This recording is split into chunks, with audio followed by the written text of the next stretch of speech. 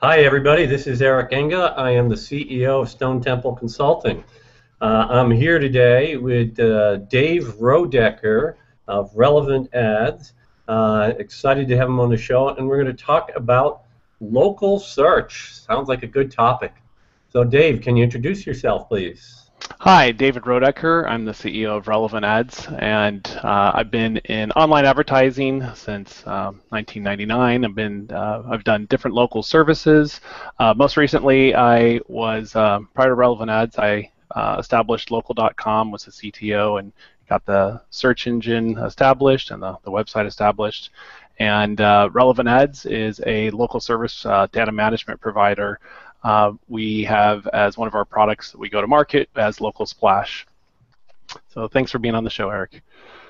Uh, yeah, glad to glad to have you on. Uh, and yes, we're going to talk local search. It sounds like a great topic because I know a lot of people have this problem. Uh, for those of you who don't know, uh, which is most of you, uh, I got to know uh, Dave because we have com- clients in common. so we work on on some different things and it's really interesting when you dig into it. Uh, um, there, there's sort of the advanced stuff, but a lot of what you have to do in local search comes down to some really basic fundamentals. Can you uh, start us off, uh, uh Dave, and just tell us what some of those are? Sure. Uh, well, you know, we've been in local search since 2006, and uh, at Relevant Ads, we've seen the industry quite evolve quite a bit what seemed to be a pretty simple um, arrangement of how data uh, flows through the internet has uh, become very complicated over time. And uh, uh so it's been a very interesting um, ecosphere. Uh, some of people, I presume, have already seen how uh, the local data ecosystem has evolved, and you have core data providers, websites, search destinations, um, a whole myriad of, of different data um, and functionalities, mobile applications are in the mix of things. Uh, we focus uh, uh, a lot on local SEO, so where search retrieval and maps listings come into play, and uh, uh, so it's been it's a very interesting space. Things continue to be in flux. The search uh, engine is very different than the traditional search engine. So local SEO is is a completely different um, uh, sort of notion versus the traditional web SEO. We are seeing a lot of things in blending of that, but uh, um, it's certainly an, a unique um, um, area to play in. Indeed. So I think uh, uh, let's actually take a moment and first define how you can recognize a local result versus a regular web search result. I think that's just to get people oriented. Spend like two minutes on that, and then sure. we'll dig in on you know how we how we win at that game. Yeah, that's actually kind of a funny story. When we, going back years, I remember first talking to a dentist and selling them on, hey, you got to be in local. And they said, well, how can I see this? And so I actually took them and said, go to Google.com. And uh, back then, it, they didn't have hybrid results. Nowadays, you see this in hybrid results, but you had to go to more and even more, and then maps, and then then you could query within maps to get local results. Today, however, um, and uh, starting several years ago, they started a blend in which if the intent of the query was local in nature or was an explicit local query like flowers in Irvine, um, you would see integrated into the search results a uh, maps pack listing. And that's evolved to what's called also a hybrid pack listing where you'll get a blending of organic and uh, local maps results in the same search result set. So yeah, so I'm going to actually pop up an example here. Uh, so here uh, you see at the top of this set of search results, and I, I did an explicit query, uh, Dave. I typed in Framingham dentist. So mm-hmm. you get these ads, and you can see these little yellow ad buttons. And then below that, you see Framingham Dental Center, Framingham Math Dentist uh, Dental. Um, and that one is still a regular uh, traditional web search result. And then below this, you see some of those, uh, you know, local results or maps results, as we call them, right?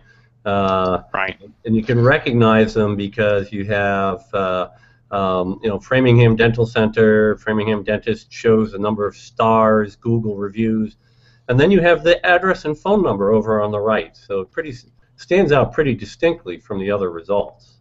Sure. And so this well, this got slowly indoctrinated, and, and as you just found, you did a, a, a um, explicit search. Uh, this also works for implicit search queries. So you could just type in pizza or flowers or dentist and you'll get the same thing and it's it's how at that point google is making an assumption based upon where you're located from several different pieces of information your ip and and geo coordinations and and such but the um, the, the number of queries that, that deliver that sort of search result page has dramatically increased over time. Uh, when they first started introducing it slowly, they figured out where it was relevant and more meaningful, uh, and it grew from 12 to 20 to I. Uh, oh, they say over now 30, I think it's 33% of queries have local intent. A lot of those queries, though, um, are coming not just from that, but also from mobile devices, in which uh, uh, there's there's uh, I think it's over 50% of queries have local intent on mobile. That's that's amazing. So um, that's a big part of what Google is trying to do is they're trying to discern that local intent. And uh, as you said, when you do an explicit query, like you include the city name or your town name or wherever you live uh, uh in there, uh, that that makes it easy for Google. But uh, there's all these kinds of queries: pizza, dentist, you know, car rental where you probably, you know, I'm sitting here in New York right now at the ClickZ Live conference. Uh, if I type in pizza, I'm probably not looking for pizza in San Jose, right? So they'll give me that, that local stuff that I can like walk and go get, or a delivery person can bring to me. Mm-hmm. Definitely. Yeah, they figured a lot of that out. Uh, they started making that technology of where they could locate you. Um, a, lot, a lot of that came when the Street View technologies came out, and they were um, seeing the Wi-Fi signals where people are located with a higher precision. So, uh, you know, when we did this uh, years ago at local.com, we would take an IP address and go, well, this person's in Los Angeles, and that is a pretty large range. You can't rely upon just IP information. So the the geo triangulations that Google's been able to do to more specifically isolate exactly where you're located, and they've got a really good precision on this in many cases. Um, and when they know that, they will, you know, give you what is um, you know more of a hyper local result set centered around where you're at. And they do the same thing on mobile as well. Uh, very often in SEO, we tend to focus on queries that are explicit in nature, and we may have a client and we we are trying to see um, where they rank in search results. Dentist in Irvine is different than doing a query for dentist when you're in Irvine. That's really diff- really uh, a strong differentiation because that's what the user is going to do. Moreover, with things like Google Instant um, and Auto Suggest, people are simplifying their queries. Yeah, and um, so to get this process started, right, you deal with uh, uh, Google Places and a verification process. Can you walk people through that? Sure. So business owners are uh, are able to essentially claim their listing in Google search. And they offer a full management platform that's called Google Places, and that's that's gone through a different, few different formats in the, over the years. But essentially, it's the same idea. You go in, you say that you're this business. Uh, there's a verification process. At that point, they let you um, have control of the listing. Um, even when you don't have control, you can start drafting what they would like you to do, which is including, of course, verifying your what your business name is, categories, uh, description, photos, hours of operation, and some other data elements to enhance your listing. And uh, then they go through a verification process, and uh, verification involves uh, sending a postcard or an email. Uh, you can even do bulk verification as a, an enterprise uh, for all your locations.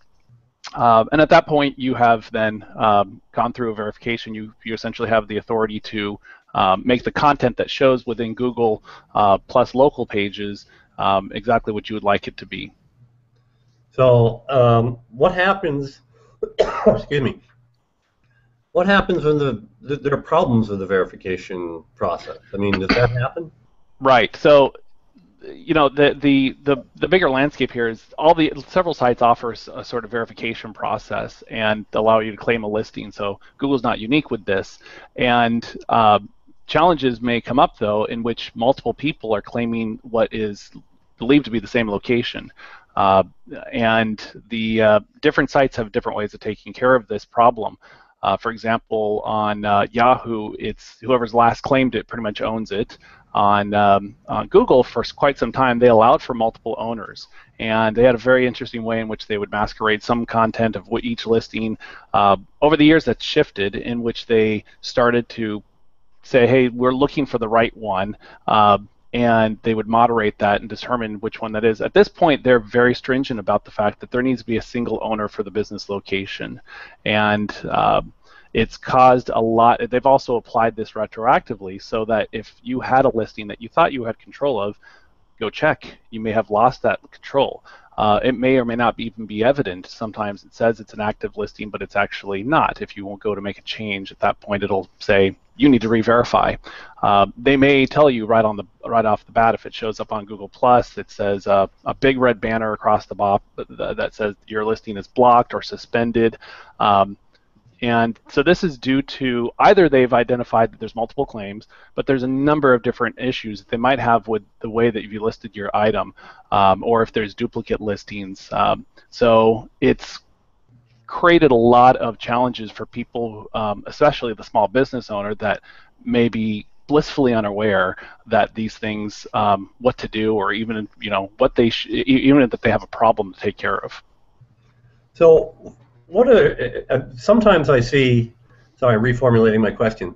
Sometimes I see these situations where you actually do get uh, multiple listings, which you, you, can tell as a human are for the same business. They have uh, kind of sort of almost the same address uh, uh, and phone number, and, and you're looking at it and you're saying, you know, what the heck, this doesn't make sense. How does that come about? well, so going back to the okay, I know that's a simple question. no, no, but th- this is uh, this is actually a real fundamental challenge in local. Uh, having uh, you know, if you go back to the local ecosphere and all the sites commingling, uh, the uh, because there is no single data source that says this is the data of the United States businesses, uh, you know, this that there isn't that sort of aggregation that any one person or one entity has. Um, in many ways, AT&T could have been that if they weren't deregulated, but we don't have that benefit. So how do you know what real businesses exist today, which ones have come into existence, and which ones are no longer in existence? Uh, businesses don't typically call and say, hey, take me off the, the yellow page and the white page listings. We're closing our doors. They just go away. So you have an aging effect. And so one way that Google's taken advantage of this is said, well, if we haven't heard from you in a while, we're going to kind of presume you're not really doing too much business. You're certainly not doing too much new business. So that's a kind of a devaluing ranking factor and how they've handled it.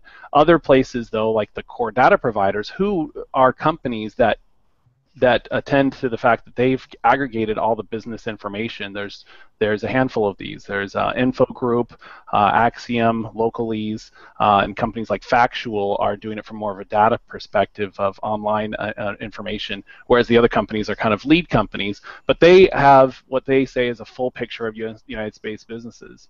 Um, we actually did a study. Um, it's called Behind the Smoke. Um, uh, for the core data providers and found how much of their data actually matched each other. And um, it's pretty complicated, though, to even ask that question because you have to decide how you're matching. You match on uh, what we refer to as NAP, the name, address, phone number. If you exactly try to match that, though, you have a lot of variations to how someone displays an address with normalization variances. Um, and uh, so then you simplify and go, well, only only if it has the same phone number. Um, Google's taken a perspective in this in which they allow for potentially a business to have uh, you know multiple listings, but the fact is, does it is it really a unique establishment? Is it have its own unique address?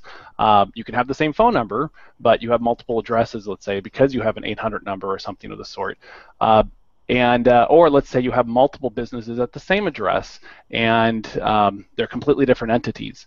Uh, so they allow for those things, but there's a discretionary you know choice in some in some of these areas. Um, a lot of times they actually rely upon the street view imagery to make a decision as to which business is really here, and so. Uh, that does ha- tend to make mistakes. There's flaws with that, um, and you know, so they can algorithmically look at it in some ways, and then they also definitely have a human moderation element. So, if I were to try to re-summarize this, um, uh, and actually I'm going to add uh, add a little bit to it, which is you, you have these people, Google one of them, but there's what you call the core data providers, like an info group or an Acxiom or a Localeze. They're all trying to get a complete listing of U.S. businesses. And it used to be that folks like Info USA, which is part of the info group, literally like would have phone books delivered, and they would like go through the phone books and pull out the uh, uh, information. And uh, people like Google may be crawling the web the challenge is that the information is represented in slightly different ways uh, all over the web. So uh, I'm pretty sure they've all figured this out, but just to illustrate for people, uh, you know, did you put RD for road or did you spell out road? Now, they probably have figured that out now, but as, as, Dave suggested a moment ago, you might have an 800 number. Uh, you might have a tracking phone number that you're using for one channel. Uh, you might have your normal phone number. You might have many phone numbers that you use. Um, so your NAP information might differ. Uh, you might have it might show on the web four or five different ways, right? And and Google might uh, pull all of that into. Um, uh, they might pull all of those records in because, uh, mm-hmm. um, and I think that's part of what you were getting at. Um, definitely, definitely the case. They, uh, you know, their statistics as to you know about 20 million U.S. businesses. Um, it's been crawled a few times, but the number of places within Google, which includes things beside businesses like parks and such, but um, it's you know factors of 10 more than that number. Um, so they definitely are you know seeing a bunch of chatter out there about a bunch of businesses that may be long gone, uh, and they've kind of simulated that up to refining it more and more, and they continue to do that. So that's why we get back into this verification uh, challenges and and uh, um, it's uh, it's re- it, it's it's been um, an experience to see how you know different entities are handling this. Google being one of them, and uh, the quality control though definitely is is a big reason for verification challenges, and uh, uh, that's uh, uh, still though a very oblique thing because they while Google has done a lot of benefits in, in figuring this out, they've also created a lot of mistakes. And there are a lot of a lot, a lot of cases that we've seen that it's just a blatant uh, mistake within the Google system, whether it be human or, or, or um, uh, algorithmically done. Um, they do offer some support channels, which uh, has you know through email as well as phone, in which you can try to deal with these, but it continues to be a challenge. Yeah, absolutely. And uh, you know, one of the questions we have, I, I think several people have been asking it. Uh, Tina Willis is one of those, uh, and I'm going to just Oops, sorry, wrong thing from Tina. Uh, Tina, I was trying to. Oh, there we go. This one. Uh, uh, what else will help us? You know, beyond traditional SEO factors. So, but now that we've been talking about the data mess, uh, I think one of the big ranking factors in local search is what you can do to clean up your own mess, right? Sure. So.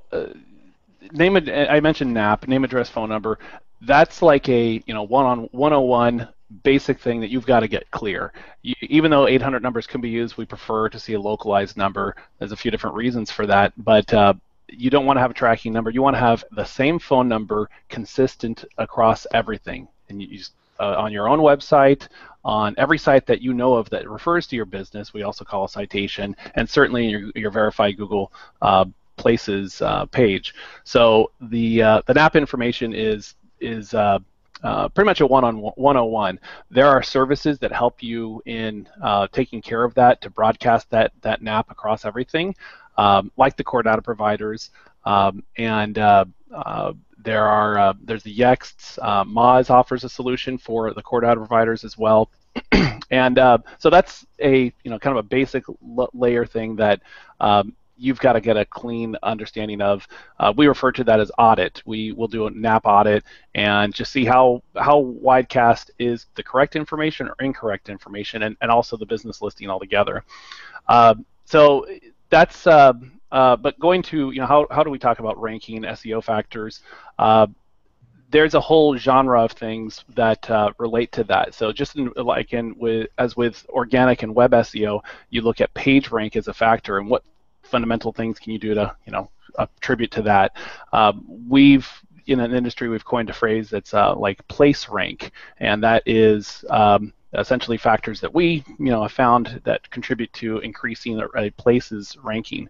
Uh, these are things like uh, I mean, the, uh, the uh, attributes of the business, where it's located, um, the how close it is in proximity to the user, um, the centroid of a city, um, the business name, which um, can actually be altered within Google to a certain fidelity, what we call the descriptor.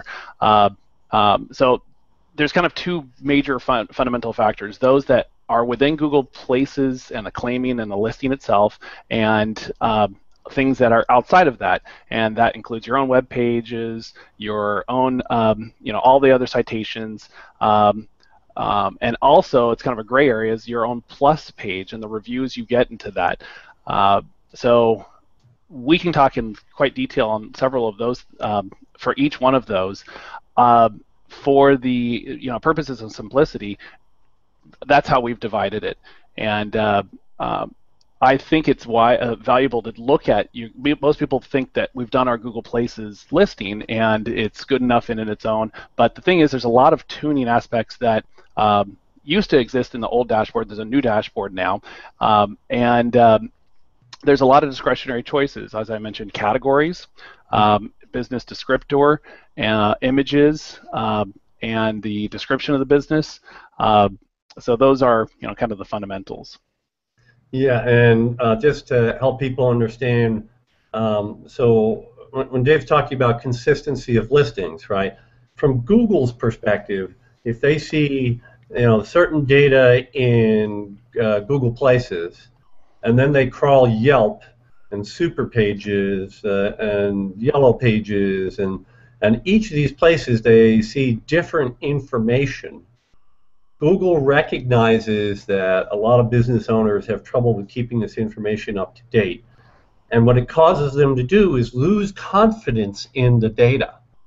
And Google is really deathly afraid that when someone clicks on that local search result or sees that local search result, that they're going to call the phone number and get, uh, you know, this uh, number has been disconnected, uh, or they drive to that location and they find a blank storefront they're deathly afraid of that. So they treat this data consistency problem as, well, a ranking factor. Right? That's true. Uh, definitely the case. And it's, I mean, for all those reasons you just mentioned, so it's, it almost seems like a, uh, um, I mean, it's definitely for the user intent. Uh, if a business is switching around, moving around, or no longer exists, they are not paying attention to their data. Uh, those are negative influential factors for sure. So having the con- consistency though also allows them to. It's not just that they want to bias against you because of that. Uh, having that consistency allows them to match these pages. So uh, a citation is any you know other website that essentially Google's indexed and associated. To a location, and they'll do that more easily um, if more readily if they've got the same name, address, phone number. So you want to be able to allow them to have as many reasons to give you that higher place rank. As possible, yeah. Um, can you just describe a little bit the difference between citations uh, and uh, links? Sure. So just like a cita- a link within uh, web results creates a you know increase in, in page rank calculation for another web page, uh, a uh, citation is essentially an attribution of a, a place uh, from another website. So you could have a yellowpages.com uh, page that talks about your business, Google sees that that page is referring to your business, and uh, they all the content associated they want to index, and so there thereby they essentially take that page, associate it to your place, increasing the, um, retrieval and potentially the optimization for um, it because it has a uh, um, a value in that linkage. So a citation is when they've clearly been able to figure out that this page has to do with your business. Even though it doesn't have a link. Even though there's no link at all, uh, but the fact that it mentions your business and simply, sometimes as simple as a phone number, uh, there's markup that the, a, lot of, a lot of sites use for um, allowing meta tags to describe that as well. So it can sometimes doesn't have to be obviously stating name, address, phone number um, in order to do that. Yeah, no, so that's very cool. So those citations for your local business are really powerful and useful to get. Definitely. Uh, when we see those, though, the it used to be years ago that you would see what these citations were in a more info section on an old version of Google uh, Maps, and uh, so it was really insightful. You could see the 87 different places on the web that they've found your your list your uh, your business, and they have some association to your business. And while they still see all those, they they tuned down displaying it, and it was somewhere in the time that they got in, in a big argument and tiff with Yelp um, over displaying reviews. So they decided, hey, you know what, we won't continue to represent, even though we see that and we know it associates to this listing, and we're going to probably have it still as metadata to retrieval within Google search index, they don't display it anymore. So we're left to discover how Google finds and, and it, what citations they believe are still valuable and relevant. Um, what we did see though before uh, even the the citations that they would include were not just every place that had your business. It had to have your business and have something unique about it. Couldn't just be, you know, here's name, address, phone number, and you've got a listing on, you know, superpages.com. It's got to be superpages.com has description, reviews, maybe some photos, extended content. It's got to be also unique because if that page is the exact same page as the page on yellowpages.com, uh, we already know that Google tends to get rid of duplicate content, so they're going to take the most unique or the whichever one they feel is more relevant. So in assessing citations, there's a lot of different places out there um, that discuss citations. Like um, Moz has a great directory which shows per vertical the citations they see as most prevalent, um, and um, so if you're a uh, church, for example, I found out local.com is a great resource for being a citation. Um, and uh, so per per industry and vertical, some destinations are more popular to be on. So it, it's it's not just the fact that it has relevant, useful content. Maybe they have some sort of feature or functionality or popularity. So um, that's what we look for is is uh, citations or websites that either have a good you know user traction on their own, or they have a unique uh, functionality or, or uh, display of content that we'd like to take advantage of, um, which kind of boils down to metrics. If you were to look at it, Alexa and PageRank. Um, so that's um, those are places to just to look for citations. Awesome. So I'm just going to jump back and pick a couple questions I skipped over because of the, the flow of the discussion. Uh, so Colin Ball here.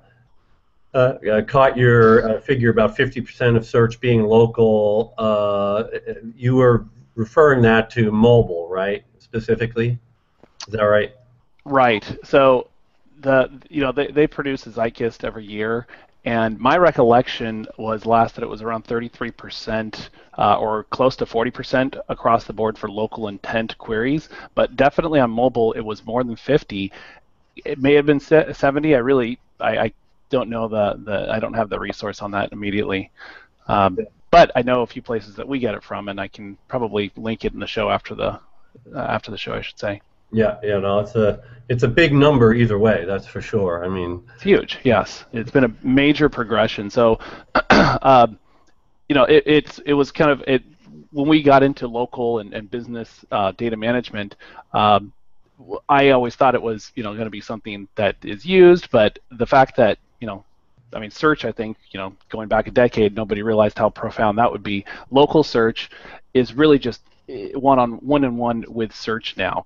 Um, even though it has all these different fundamental algorithms to it, um, it is it's what users are looking for, and uh, especially whether or not we're on a mobile device, we want to find things that are relevant to us. That's mostly going to be local. Um, we already know they've done things to index on a national scale. They've actually brought that down, so the indexes are are very localized. So it's uh, I think it's all the progressions going to more and more local. Yeah, absolutely.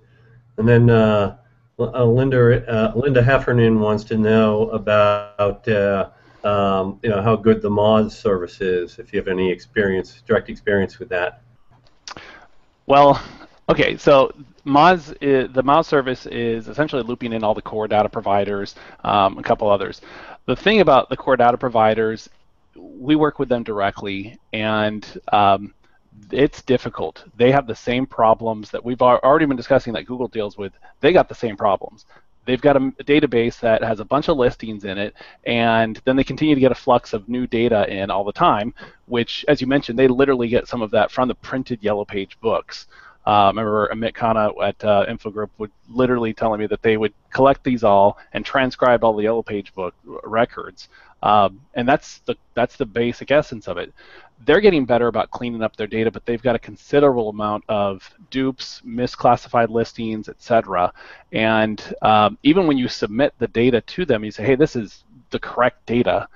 Uh, very often, they end up just adding that, keeping the old data there to uh, essentially, you know, age, or hopefully it might blend in some way, but they don't give you a very good control of saying, this is the record I see in your database, and I want to modify it to say this.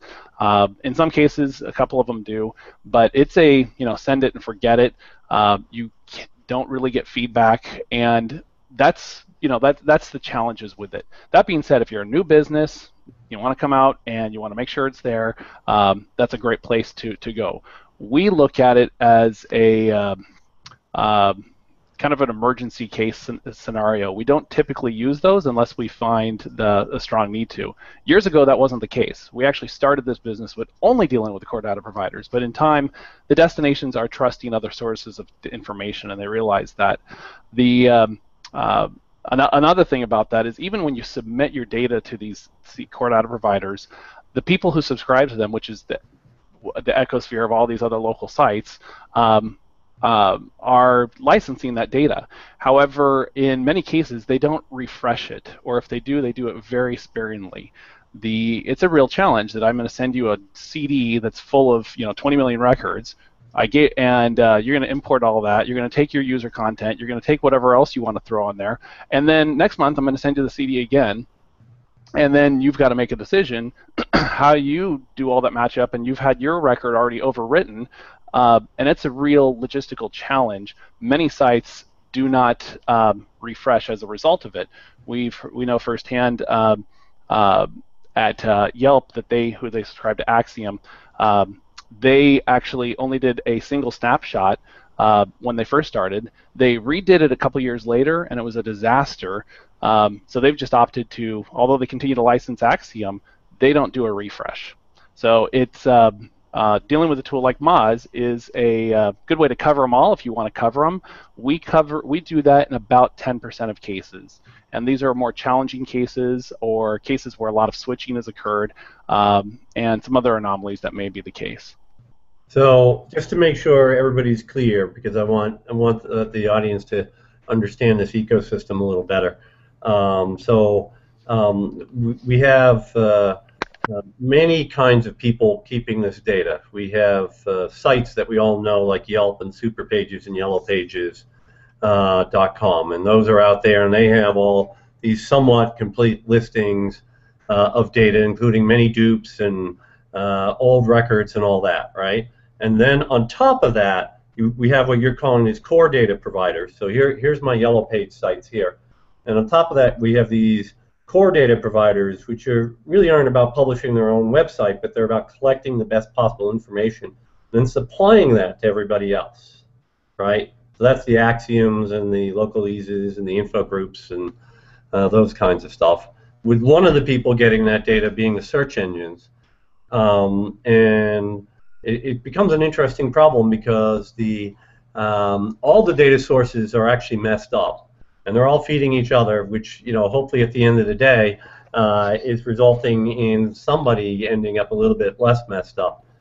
But you know you highlighted it beautifully. I think you said there's how many 20 some odd million businesses in the U.S. and give or take it depends on number whose number you trust and uh, you know a lot of these businesses are in flux there's a there's a, there is a large turnover of new businesses uh, lot of individual, you know, uh, proprietors that start a business, they do the right things, maybe they incorporated even, uh, they did an SMB or they got a phone number, um, and that's that's how easy it is to get into these things. Sometimes um, new business phone connections will be registered, uh, and these guys pick it up.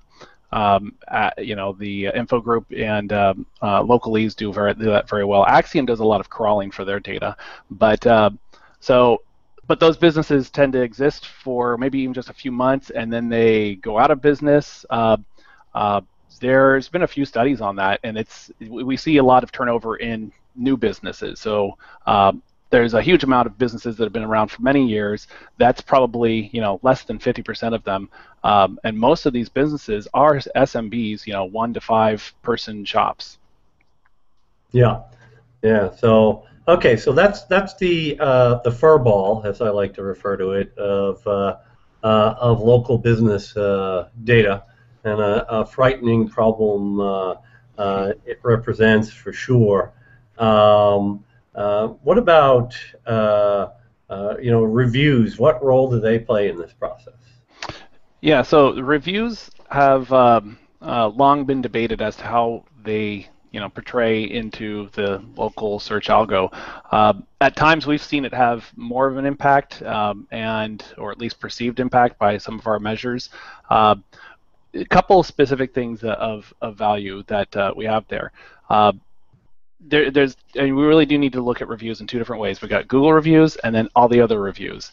Um, it used to be that all the other uh, all the reviews in total were all that we needed to focus on, but uh, uh, and it was good. You go out and get. Uh, it's one way of, of helping a a website become a citation. So an insider pages placement, for example, uh, just has name, address, phone number, but you get a couple reviews on it, and now it's behaving like a citation. Um, so when you get that review, the fact that it has additional content is great, uh, and those terms, if they're very unique, might portray into the uh, might take a factor in how the listing it has in um, retrieval. So if it has a specific niche keyword, like uh, um, you know a dentist, of course, saying dentist all over the review isn't probably not going to do much. But if it has a term like porcelain veneers, that could portray into how that business might be retrieved. So um, rich keywords, extended long tail keywords have some uh, uh, benefit there. With respect to reviews on Google, they they now don't display reviews from the rest of the web. They used to actually display those. Uh, now they will link to there's more reviews on insider pages. In some cases, they'll do that. Um, so they we know they've been tuning back how much they display that. They definitely get it though. Another another indication of where they're getting this, uh, or the fact that they are getting this, is they will they are now displaying um, to a business in the Places dashboard all their reviews that that Google finds, and um, uh, but those are separate from the ones that they say are reviews on Google. Reviews on Google are valuable for probably all the reasons I already mentioned for search retrieval, but the another factor is they'll display those star reviews on under the listing within the, the local maps pack and the and the search results there. So it's one of those factors that we know that could increase your click-through rate when someone sees the number of reviews from Google uh, and the stars right there. Yeah, I've, I've actually heard it said that um, uh, you get a higher click-through rate if you have uh, bad reviews than if you have no reviews. Yeah, having something is better than nothing is, is another adage for that, I suppose. And it's really in the eye of the beholder. It depends who you're talking to, I suppose. But having more flair probably is a good thing altogether. Yeah. So so far, I mean, we've covered kind of two. Uh, well, we've covered many topics, but just to take, uh, just try to uh, create some some takeaways. Uh, the first part we talked about the the data furball at length, and um, uh, you know for those of you who are watching, I think the takeaway out of that part was um, you have to do your part to get the data cleaned up, and there's various services that can help you with that. Um, you can go to these so-called core data providers, Acxiom, Localeze, Infogroup. Uh, you can go to uh, uh, services, you know, for the right business. You do some of this work with relevant ads, right? right, Dave? Yeah, that's true. So what we do in going about a uh, that process is is an audit actually. So rather than just doing this spray paint effect of hey we want to cover X, Y, and Z um, and all those those areas, we're more delicate and precise about it. Um, that technique, when done, often will create more of a problem. If you just say, I'm going to go to Moz, I'm going to go to Yext, I'm going to go to this site and this site, you actually could create a ton of different dupes. Um, and as, as one of the things about citations, by the way, is that Google tends to want a single citation for your business uh, for a given site. It is um, uh, like a yellow page listing, you should have, if you have multiple of them there and there's a duplicate, they may end up associating the duplicate page, which kind of sucks as compared to another page. So you don't want to have this duplicate occur. Uh, you want to have a true authoritative one, and and uh, so all your citations um, you want to be clean. You don't want to create dupes. That's for sure. Uh, so what we do though, before going out there and even you know saying, hey, we're going to cover all these things, we're we got to find out where it's currently at. What sites know about this business already? So we'll do an audit, and an audit is kind of difficult to do. You've got to figure out where your business exists, even when Google doesn't know it exists. Um, so hopefully they've indexed it, uh, but we actually do this quite extensively. We've got about 100 different sites that we will do um, deep queries on, and we'll query them specifically for the business name. Um, uh, but we'll, we, you can't just do the business name; it's fairly too generic. So we'll do business name plus zip, just the phone number, business name plus street address. Uh, so a few different permutations, such that we can find all the footprint of this one, this business. We'll see how many duplicates occur, uh, which one we want to consider as the primary, and try to figure out how to eliminate the other ones. And it's that how to eliminate the other ones that's really unique per destination. You can't just go and talk to InfoGroup about a problem with Yahoo listings. You've got to go to Yahoo and talk to them about their duplicates. So um, the uh, uh, this is one which we spend a lot of time making sure that we've got a clean audit, and then that drives the, the, the rest of the work in the food chain of how to solve the problem. So that so really what's going on there uh, is you're you're discovering which sites the problems are coming from, and you might be dealing with any any a dozen or 20 different sites that are contributing to this problem, and you've got to take them on one by one. Right. Yes. Yeah. And so this is all done. Um, th- th- that's all a precursive stage. If um, we'll do that before even getting involved with um, trying to find new ones, because the best way to take advantage of getting a citation is to go after a page that already exists and make it better versus just make a new page. Right. So you're you're correcting it essentially. Correct. Uh, yeah. So uh, and then so that's that's the the data part. This is labor intensive process, and um, uh, for for the audience, that's a miserable answer because they're looking for a simpler way to deal with this, and unfortunately, uh, the reality is it's not simple. Uh, it's a it's a painful process, but that that's part one is get your data squared away. Uh, and, and Dave just did a really great job of uh, explaining how you've kind of, you know, site by site, got to figure out where your problems are. Um, and then uh, and then there's the review side of things, uh, which is a way of, um, at the very least, uh, getting some visibility in the search results if it's a Google review uh, for the fact that you have reviews. Uh, maybe getting some uh, additional citations and data for yourself uh, so those seem to be like the two major elements that we've talked about so far. Right. And, and also uh, how searchers are, are searching and implicit queries.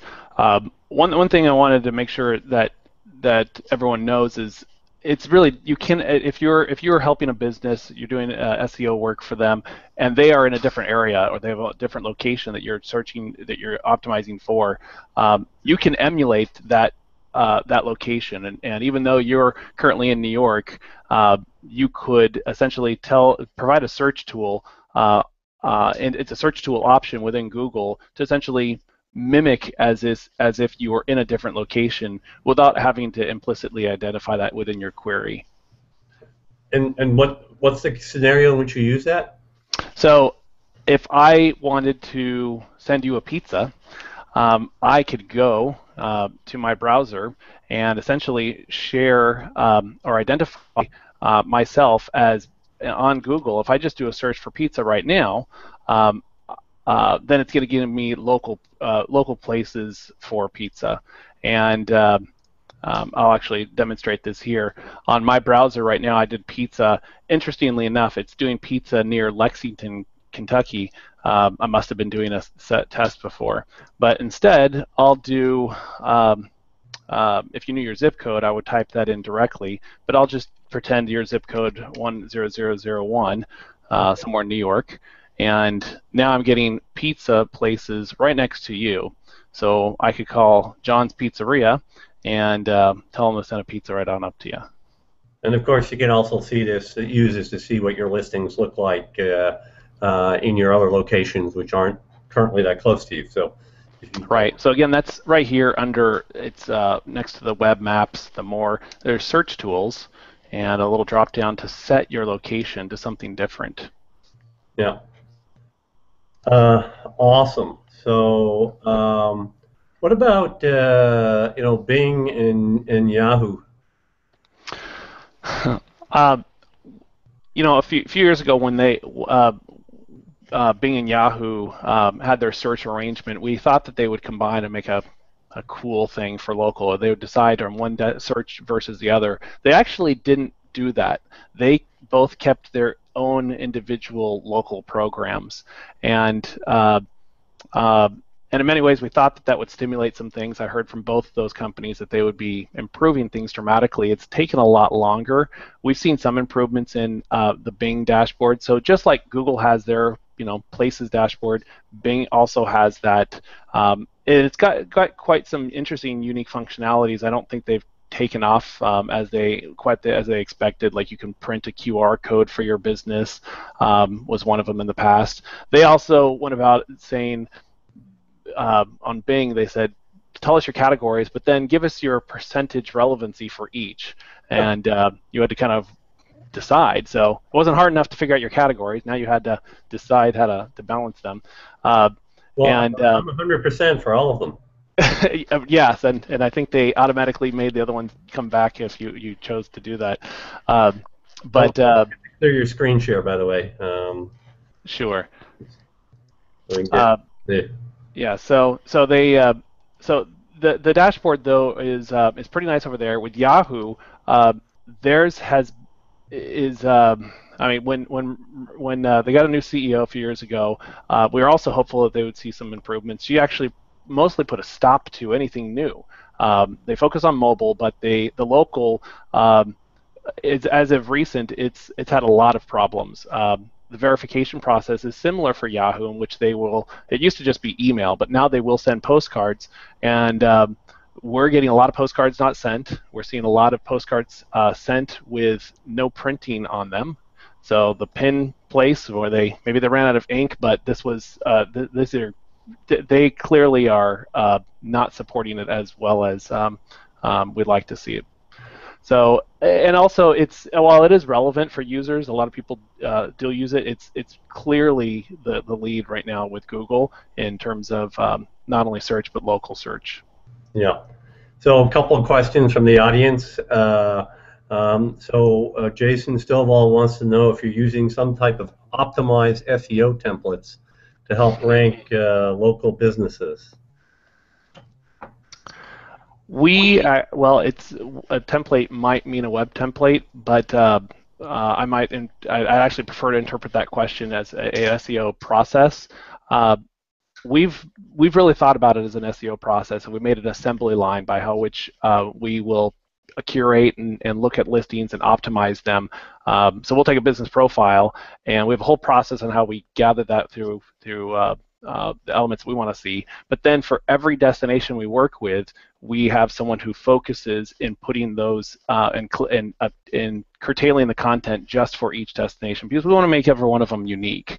Um, so one of those outlets is ha- it has been um, for us is creating a web page uh, or a dedicated landing page. We've referred to this as a geo-targeted landing page because it will be a domain or a page on a directory that uh, that we've um, curated. Uh, and uh, those are template driven, I suppose, uh, uh, at their their nature. But we're we're populating with all that content in in a unique way.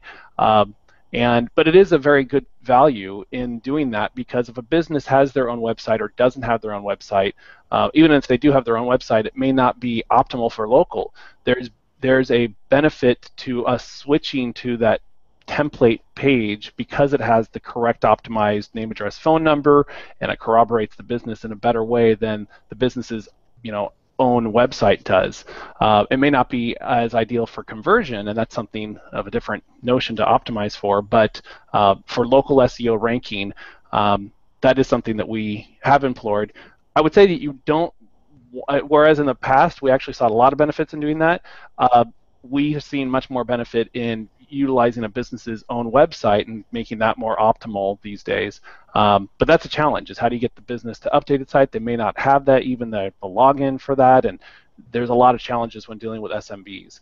Um, but even in the enterprise world, where they may have um, they may have their site not optimized well at all, even though they have this big website, their local location page, their landing page for each desk, their each uh, each of their listings landing pages are not optimal, and you'll get a better ranking benefit by not using that instead using a, a templated page in some cases, which isn't where you want to go, but uh, it's just a balance between are we going to do this to increase our ranking um, and uh, you know a short term versus a long term strategy. Yeah. So um, another question. This one's from David Graham. Uh, is there some expectation that the use of organization or local business schema markup will help improve the data set in some way? Well, sure. The um, in in uh, by applying some of that markup, uh, you create a better chance that um, that it will be identified as a citation because there's a very clear indication of this is the name, the address, this is the phone number. You can even put the latitude, longitude, which is really what Google's patent of identifying pages is associated to those elements. Um, so if you had a page that talked all about the business, um, and um, wasn't really trying to reinforce the, the, the NAP information, you could def you I would definitely recommend putting it in there in some construct for the uh, schema markup. So it's just a matter of making it clear that this page is associated to the business, um, and it doesn't have to be done through markup, but that's certainly one way to go about it.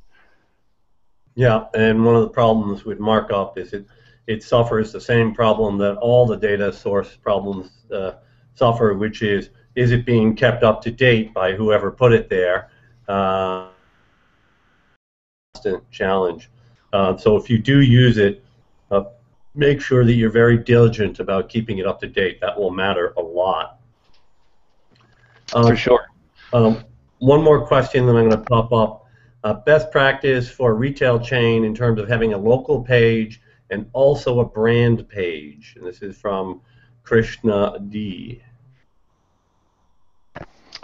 Uh, sure. Actually, Eric, um, I don't see that for some reason the, uh, stale, but um, the um, ah, I see it now. Local brand page, also a brand page.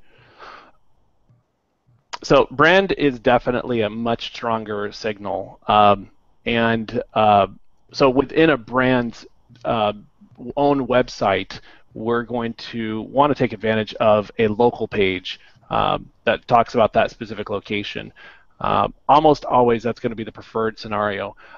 In some cases where you know you can't do that, or it's an individual franchisee, let's say, uh, making their own page is certainly a good, you know, uh, it, it, does work, and it's a uh, option that uh, a lot of businesses take.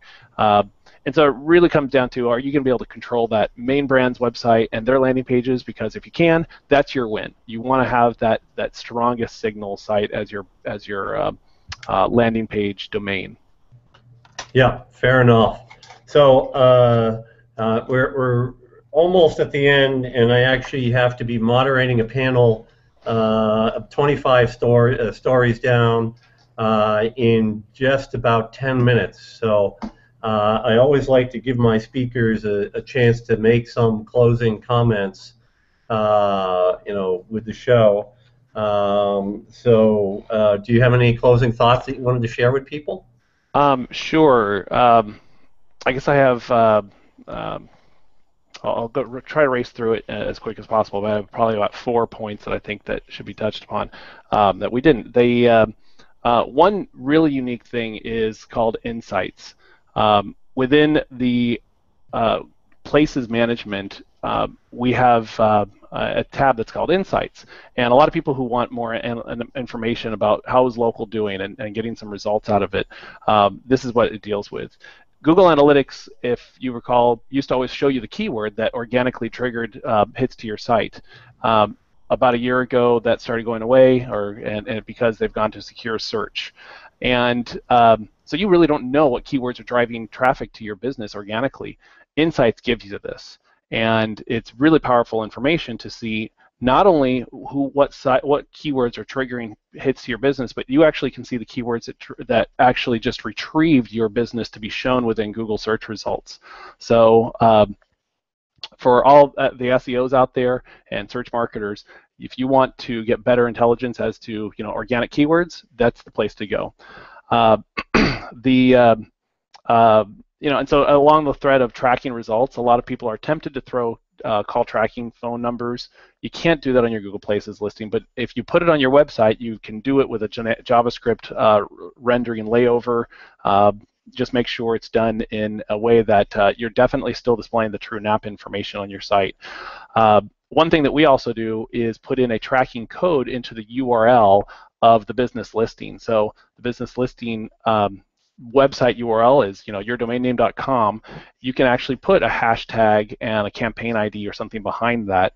Word of caution though, that doesn't always take effect. In some search results it does. When they blend it though with hybrid search results, it may may end up getting um, trumped by the organic uh, indexed search page versus the um, the one you've applied in places.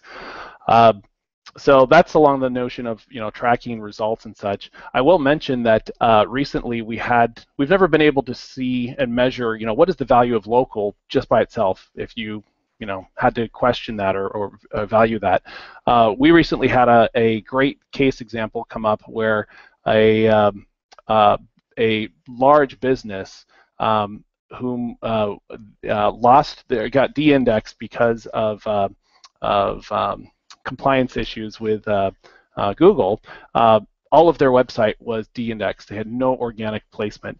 Local listings, though, remained strong, and that was the only thing they had. Uh, they were still getting eight to ten leads per location per day, thousands across their their um, all their locations, and so literally local kept the the light on for them. And uh, so it's a it's uh, those are rare examples though for us to be able to measure that, but it's really a huge thing.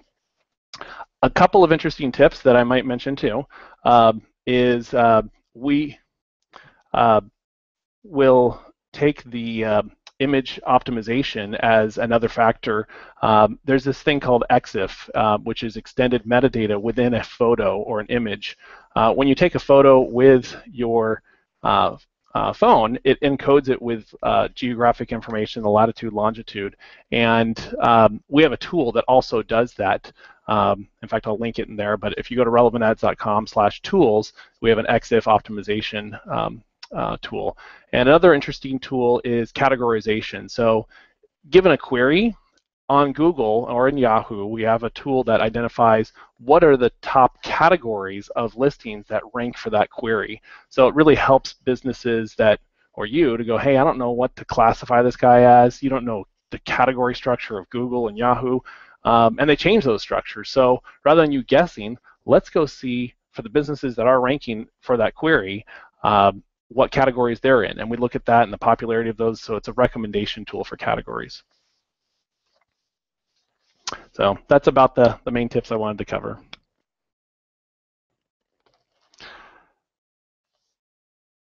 Am I uh, still on with you, Eric? Oh. I think he uh, went mute, actually. Or I did.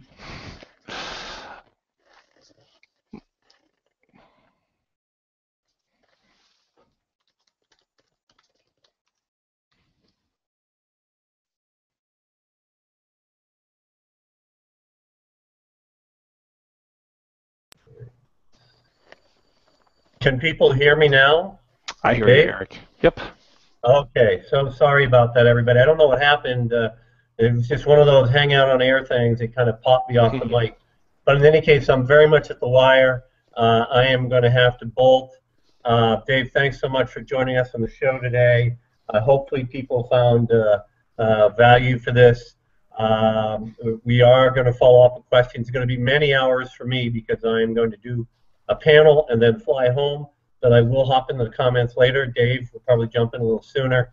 Uh, Mark Traphagen, who's managing the Plus Stone Temple Consulting, uh, uh, comments here for us. Uh, uh, we'll probably jump in. Uh, Dave, thanks so much for joining us today. Uh, this is the Digital Marketing Excellence Show, shining off, shining off, and signing off for, for the day. Bye, everybody. Nice.